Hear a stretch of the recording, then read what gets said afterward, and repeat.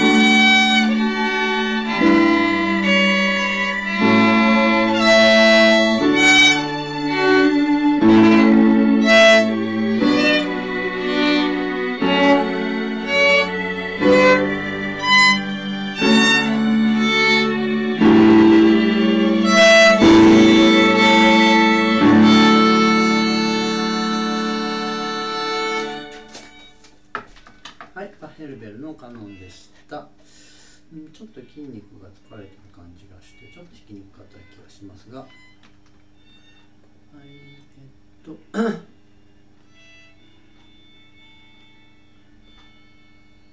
次は、えっと、人生のメリーゴーランドを弾きます。これはジブリのアニメの春の極白のテーマ音楽になっています。バイオリン20奏のものを弾きます。えっと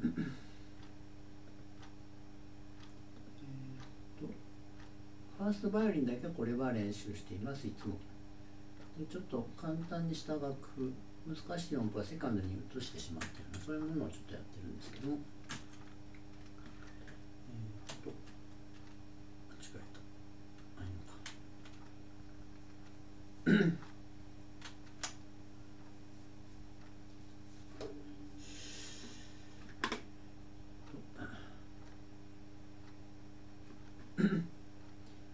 えー、はいそれでは行きたいと思いますえー、春の極白より人生のメリーゴーランドです。辛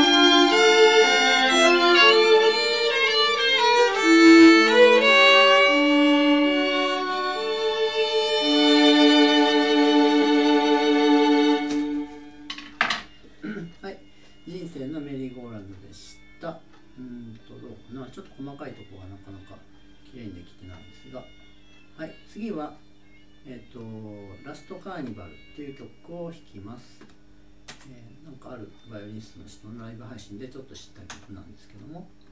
はい。それではいきたいと思います。ラストカーニバルです。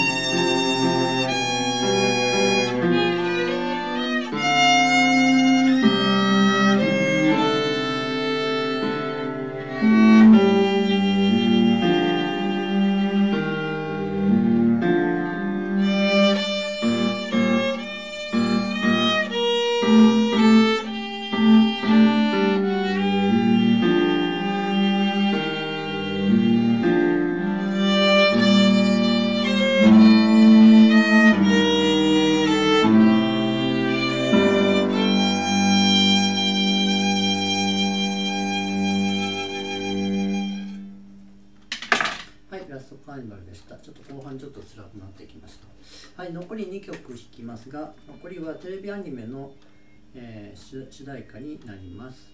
え最初に弾くのは1982年のテレビアニメである「魔法のプリンセスミンキーモモ」第1期の方ですね。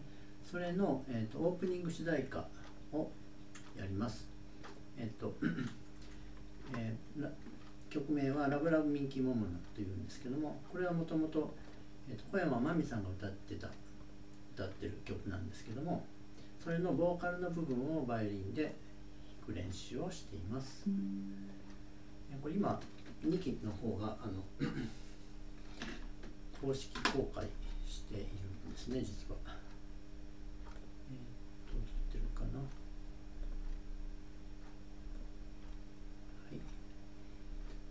い、はい、それではいきたいと思います。えー、魔法のプリンセスミンキーモモよりラブラブミンキーモモ。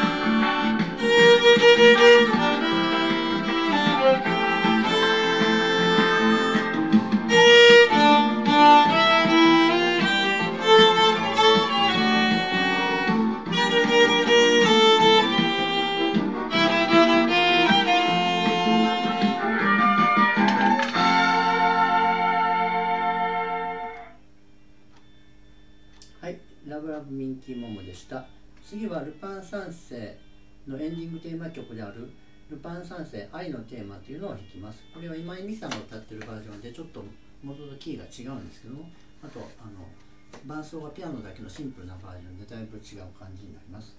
はい。えっと2番まであるんですが半分の1番までを練習します。ルパン三世愛のテーマ。